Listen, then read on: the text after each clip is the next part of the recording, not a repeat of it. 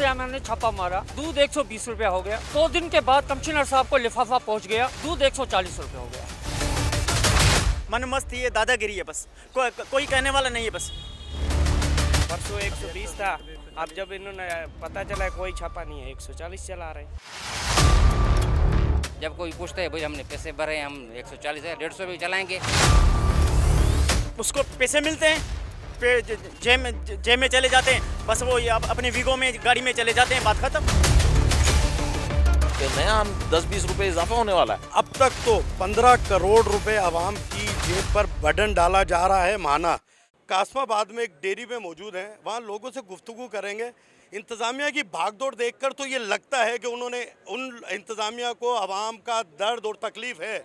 लेकिन जब हम रोड पे लोगों से मालूम करते हैं तो उनके क्या तासुरात हैं?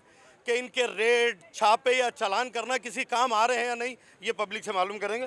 ये जो चालान कर रहे हैं लोग इंतज़ामिया उससे कम हो रहा है दूध या वही कीमत बरकरार है? मेरा अर्ज़ ये है कि इनसे एम ने छापा मारा। दूध एक सौ बीस रूपया हो गया। दो दिन के बाद कमिश्नर साहब को लिफाफा पहुँच गया। दूध एक सौ चालीस रुपये हो गया। यही इंतजामिया का काम है और मीडिया का काम है। यहाँ पर दूध कितना किलो मिल रहा है? क्या किलो मिल रहा है? सौ चालीस रुपये किलो। सौ चालीस। रखे एक सौ चालीस। कितने दिन से ले रहे हैं? फ़र्क पड़ है नहीं नहीं कोई फ़र्क नहीं पड़ता है कौन से क्या फ़र्क पड़ता है ये तो मुझे बताओ ना। एक सौ चालीस रुपये किलो है मार्केट में एक सौ बीस रुपये दूध मिलता है। यहाँ पे एक सौ चालीस रुपये मन मस्त ये दादागिरी है बस। को, कोई कहने वाला नहीं है बस। बस। तो ये जो बड़े बड़े अफसरान हैं जो सिक्योरिटी गार्ड के साथ आते हैं छापे मारते हैं चलान करते हैं बस उसको पैसे मिलते हैं? पे ज- जेब में जेब में चले जाते हैं। बस वो ये अपने वीगो में गाड़ी में चले जाते हैं बात खत्म। इंतज़ामिया का कोई किरदार आपको नज़र आता है? कुछ बिल्कुल नहीं कुछ भी नहीं है कुछ भी नहीं है बस आवाम जो पिस रही है बस और कुछ भी नहीं है। तो इंतज़ामिया जो छापे मार रही है चलान कर रही है उससे फ़र्क पड़ रहा है? कुछ भी नहीं है सिर्फ़ दो दिन हुआ था इतवार और पीर को एक सौ बीस रुपये दे रहे थे उसके बाद एक सौ चालीस चल रहा है।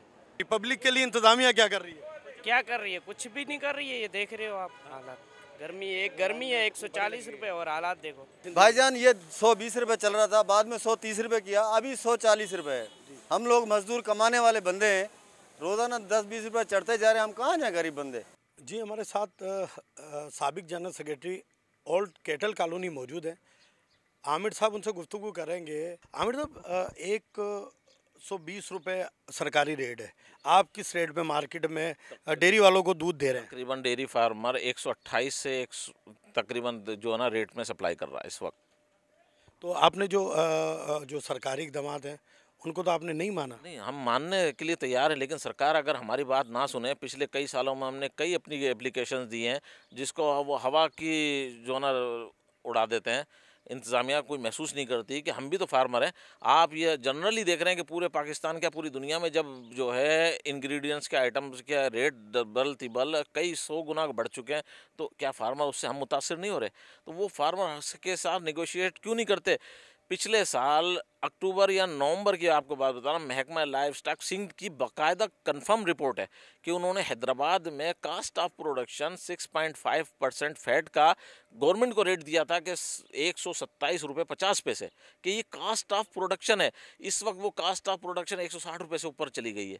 तो जब गवर्नमेंट हमारे को सप्लाई नहीं कर सकती आज जो है ये रेट बढ़ने की वजह ये है कि मज़ीद अभी आपको हफ़्ते दस दिन में नया रेट मिलेगा कि नया हम दस बीस रुपये इजाफा होने वाला है। क्योंकि फार्मर इस कंडीशन में नहीं है वो दिवालिया हो रहे हैं रोज़ फार्मर कोई ना कोई बेच कर जा रहा है। योमिया पूरे हैदराबाद में एक अंदाजे से कितना लीटर दूध फ़रोख्त हो रहा है? मेरा अंदाज़ा है कि कोई ढाई लाख लीटर तकरीबन दूध हैदराबाद में जो है ना सप्लाई होता है जो फार्मर देता है तकरीबन हैदराबाद में।